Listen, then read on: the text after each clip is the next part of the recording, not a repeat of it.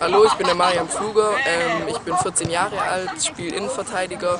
Äh, meine bisherigen Vereine waren VfB Friedrichshafen. Meine persönlichen Ziele sind, äh, mich weiterzuentwickeln und immer alles für den Verein zu geben und mit dem Team den Klassenerhalt zu schaffen. NBW. Energie braucht Impulse.